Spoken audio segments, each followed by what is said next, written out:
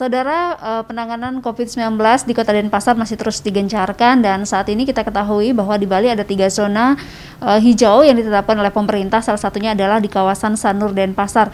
Seperti apa uh, proses vaksinasi di sana? Apakah sudah rampung dan juga bagaimana antusias warga? Kita akan langsung tanyakan kepada Ketua Satgas Penanganan COVID-19 Kota Denpasar yang sudah ada di sebelah saya, Bapak Dewa Rai.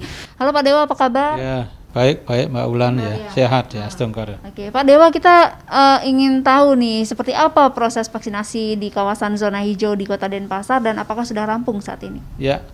Uh, Mbak Ulan, jadi uh, terkait dengan pelaksanaan vaksinasi di kawasan wisata Sanur yang ditetapkan jadi daerah zona hijau bahwa per kemarin tanggal 4 April untuk pelaksanaan vaksinasi di kawasan Sanur itu sudah rampung. Kita bahkan melebihi target yang kita tetapkan awal yaitu sebanyak 32.224 sasaran. Per kemarin kita sudah mencapai uh, 34.135 orang. Jadi sudah 105 persen lebih target sasaran. Nah tentu setelah pelaksanaan vaksinasi di Sanur, kita akan menunjuk, uh, menunggu lagi pelaksanaan dosis yang kedua. Nanti itu kita akan laksanakan sekitar bulan Mei kepada target uh, sasaran di Sanur sehingga nanti clear sehingga harapan dari pemerintah untuk bisa uh, apa namanya Sanur diterapkan jadi zona hijau kita uh, harapkan mudah-mudahan bisa segera terwujud. Berarti sangat luar biasa ya Pak Dewa antusiasnya ya. warga di Sanur untuk mengikuti vaksin ini.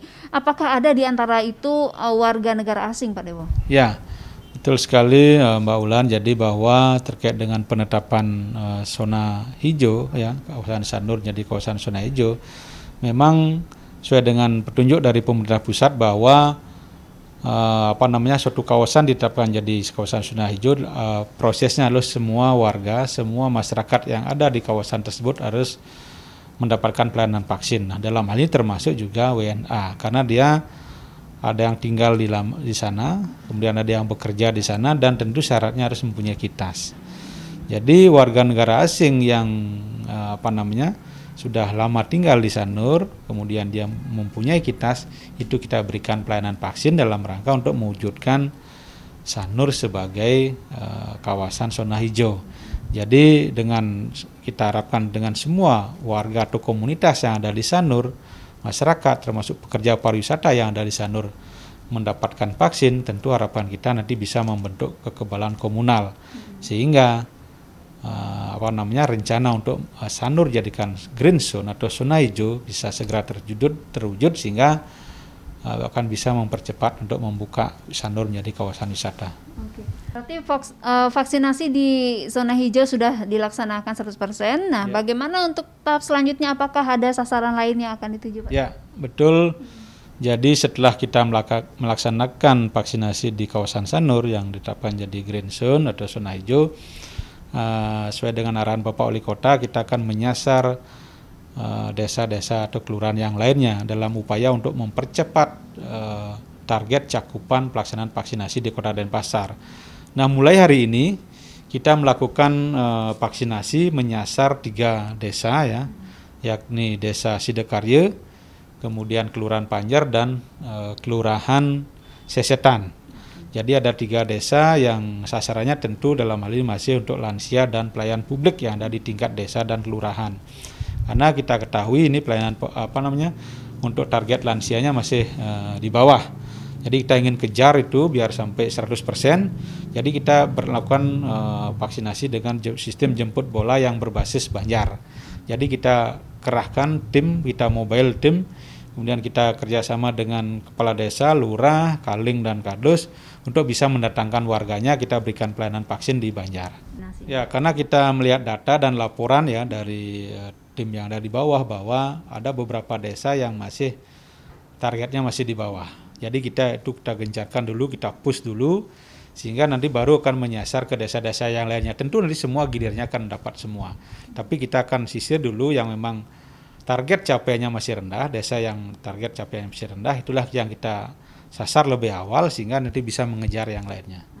Pak Dewa tentunya uh, proses vaksinasi ini masih diimbangi dengan uh, sidak prokes ya di Kota Denpasar. Ya. Apakah masih berjalan saat ini? Ya, jadi betul Mbak Ulan bahwa walaupun apa ya sudah mendapatkan vaksin tetap kami dari Satgas Percepatan Penanganan COVID-19 Kota Denpasar tetap menghimbau kepada masyarakat bahwa uh, walaupun sudah mendapatkan vaksin, protokol kesehatan harus tetap dilakukan. Ya, jadi itu tidak boleh diabaikan karena kita ketahui bahwa penularan di Kota Denpasar masih terjadi. Jadi tetap bagaimana standar penggunaan masker, menjaga jarak, menghindari kerumunan, mencuci tangan yang standar yang harus kita terus edukasi kepada masyarakat. Kita ingatkan kepada masyarakat bahkan kalau apa namanya sudah berkali-kali kita melakukan tindakan justisi. Ini tentu penting bagi kita semua bagaimana menyadarkan kepada kita semua walaupun vaksin kita tetap gencarkan tetapi ini kita juga mohon dukungan dari masyarakat agar uh, bisa uh, membangkitkan partisipasi untuk tetap uh, menerapkan uh, protokol kesehatan dengan ketat dan disiplin. Kapan ini target rampungnya pelaksanaan vaksinasi di Denpasar Pak Dewo? Ya, Uh, mungkin perlu kami sampaikan ya bahwa untuk tahap awal kan pertama nakes ya. Tenaga kesehatan itu sudah rampung. Kemudian dilanjutkan tahap yang kedua yaitu lansia dan pelayanan publik. Untuk lansia dan pelayanan publik kita targetkan bisa selesai sekitar bulan Juni atau Juli. Ya Juni Juli bisa selesai. Nanti baru kita akan menyasar ke uh, masyarakat umum ya sesuai eh, apa namanya sesuai dengan arahan dari pemerintah pusat ya minimal eh, dalam tahun ini tahun 2021 ini seluruh masyarakat atau minimal 70 sampai 80 persen masyarakat bisa mendapatkan vaksin untuk menciptakan kekebalan uh, komunal itu tadi. Oke. Sejauh ini ada kendala nggak Pak Dewot uh, dalam penanganan COVID-19 ini di Denpasar? Ya tentu memang banyak apa namanya suka duka ya. Kita dalam setahun lebih dah melakukan uh, apa namanya uh, penanganan COVID-19 yang dalam hal ini kita bekerja sama bergotong royong semua komponen semua stakeholder kita libatkan.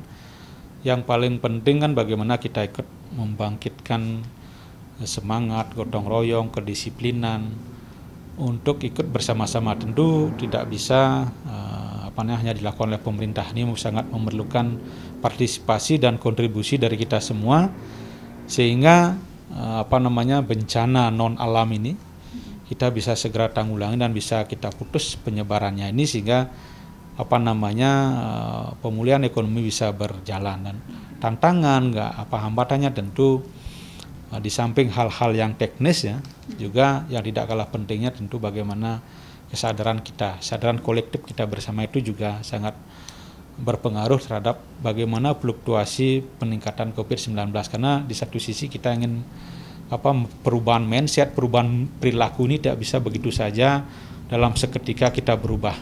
Contoh penggunaan masker ini terus sosialisasikan.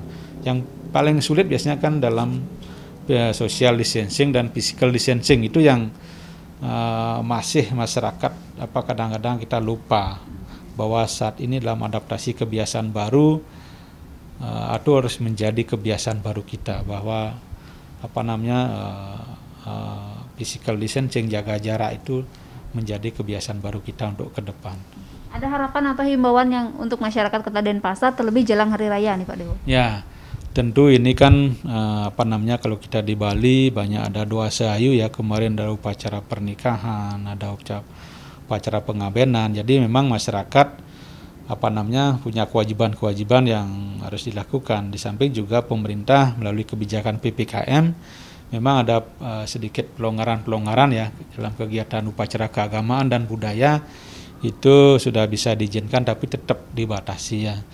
Jadi terkait dengan jumlah kemudian waktu yang singkat tidak banyak kalau dulu orang Pujo Wali Ngodalen bisa tiga hari gitu nyejar di desanya di di tempat ibadahnya sekarang mungkin cukup sehari saja.